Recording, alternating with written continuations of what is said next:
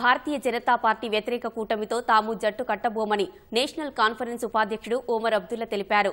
జమ్మూ కశ్మీర్కు ప్రత్యేక ప్రతిపత్తి కల్పించిన ఆర్టికల్ మూడు వందల డెబ్బైను రద్దు చేసినప్పుడు ఆ పార్టీలన్నీ మౌనం పాటించాయని పేర్కొన్నారు.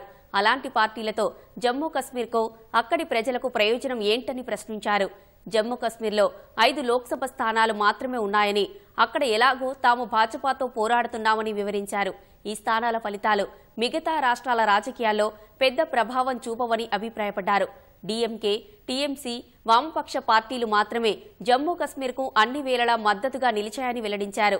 ఢిల్లీ సీఎం కేజ్రీవాల్ తనకు అవసరం వచ్చినప్పుడే విపక్షాల తలుపు తడుతున్నారని ఆయన ఆర్టికల్ మూడు వందల రద్దుకే మద్దతు ఇచ్చారన్నారు.